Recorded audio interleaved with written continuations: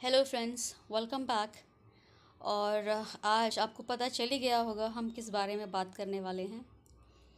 तो ये देखिए ये है आ, मेरा स्नेक प्लांट जिसको हम मदर इन लॉज टंग भी बोलते हैं और सेंसिवेरिया भी बोलते हैं।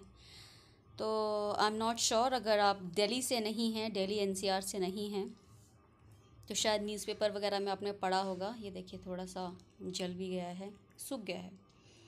तो दिल्ली एनसीआर में इतना ज़्यादा पोल्यूशन हो गया है वन थाउज़ेंड को क्रॉस कर गया है और मैक्सिमम होना चाहिए हंड्रेड हंड्रेड फिफ्टी इससे ज़्यादा अनहेल्दी और बुरा माना जाता है। हमने तो सब सीमाएँ तोड़ दी हैं। हम 900 और 1000 के बीच में इनफैक्ट उससे भी ज़्यादा पहुँच गए हैं। सो so, मैं इस बारे में इसलिए बात कर रही हूँ क्योंकि ये एक प्लांट ऐसा है मतलब और भी हैं दो चार पाँच प्लांट्स हैं जो नासा ने जो नॉर्थ अमेरिकन स्पेस अकेडमी है उसने uh, इन प्लांट्स को सर्टिफाई किया है इस प्लांट को भी सर्टिफाई किया है कि ये ऑक्सीजन uh, uh, को यू you नो know, हमें प्रोवाइड करता है ये जो बैड गैसेस होती हैं जो पोल्यूशन होता है ये देखिए, इसमें नए नए छोटे छोटे से प्लांट्स निकल रहे हैं लीव्स निकल रहे हैं, ये देखिए, इसके नीचे एक और है।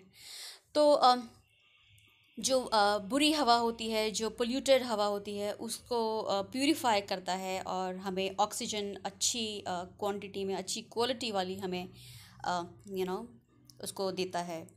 तो मेरे ख्याल से instead of buying an air purifier ये सबसे अच्छा तरीका है। अपने आप को सेफ़ और यू नो प्यूरीफाइड रखने का हेल्दी रखने का। तो uh, ये मैं दो चार प्लांट्स लेके आई थी शुरू शुरू में। ये देखिए मैंने एक बेडरूम में भी रखा हुआ है। वो बड़ा वाला जो बाहर है वो पहले मैंने अंदर रखा था बट वो इतना ज़्यादा बड़ा है कि बेडरूम के लिए कुछ ज़्यादा ही हो गया। फिर दरवाज़ा बंद खोल करने में खोलने में थोड़ी दिक्कत हो गई थी। तो ये भी काफ़ी है। काफ़ी बड़ा है। कम से कम दो ढाई ढाई तीन फीट का तो होगा ही होगा। और इसके नए पप्स तो नहीं निकले हैं बट लीव्स निकले हुए हैं। ये वाला मैंने अंदर रखा था पहले। तो ये देखिए, थोड़ा छोटा सा ही लाई थी मैं, हो गया इसको काफ़ी टाइम बड़े आराम से, बड़े खुशी खुशी अपने आप चलता है, इसको ज़्यादा पानी नहीं चाहिए।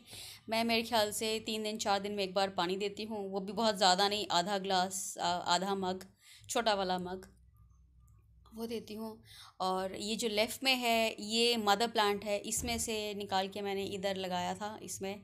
और देखिए कितने सारे उसके जो नॉड्स होते हैं ना छोटे छोटे से, वो टूटे हुए रह गए थे तो वहीं से नए नए लीव्स निकलने शुरू हो गए। तो ये एक चीज़ है जो मैं बोलूँगी आपको अपने घर में, अगर आप गार्डनिंग के शौकीन हैं तो भी, और नहीं हैं तो भी। अगर आप इंसान हैं, अगर आप अच्छी हवा चाहते हैं you know pure oxygen of course not purified but you know थोड़ा बहुत ठीक ठाक ऑक्सीजन चाहते हैं तो आपको घर में ये एक बहुत ही सिंपल सा सोल्यूशन है, जो आपको रखना ही चाहिए।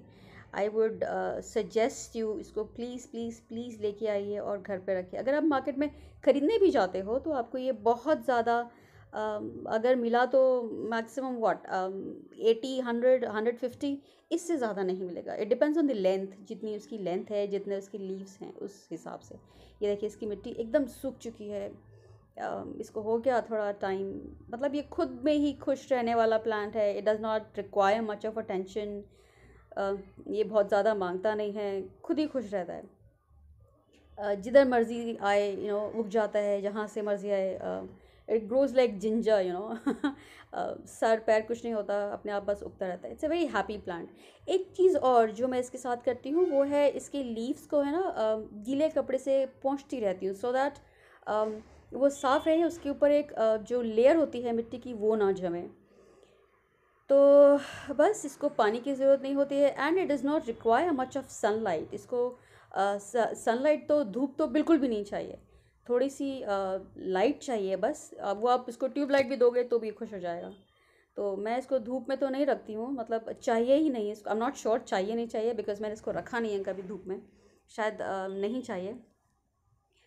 आ, तो बस यही है। ये देखिए इतना आ, बड़ा हुआ है और स्पेशली विंटर्स में तो इसका हम जितना फ़ायदा उठा सकें जितना हम you you know know, close रख सकें उतना ज़्यादा अच्छा होगा। Money plant is another thing जो हम एयर प्योरीफाई करता है। बहुत चीप ऑप्शन है।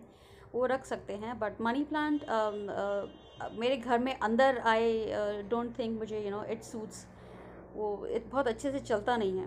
बट ये this is a poor baby this is a darling baby इसको कुछ भी मत बोलो कुछ भी मत दो पानी मत दो हवा मत दो धूप मत दो।